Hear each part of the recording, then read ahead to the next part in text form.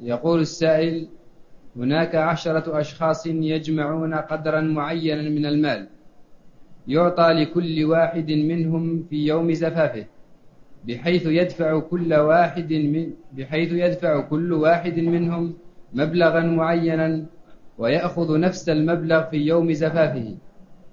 فما حكم هذا العمل؟ هذا تقارض هذا قرض.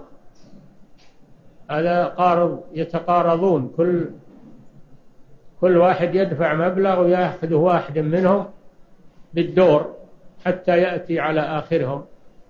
هذا قرض. أنا أرى أنه لا يجوز مثل هذا لأنه قرض جر نفعا وقرض مشروط في قرض. ما تقرضني ما أقرضك حتى تقرضني.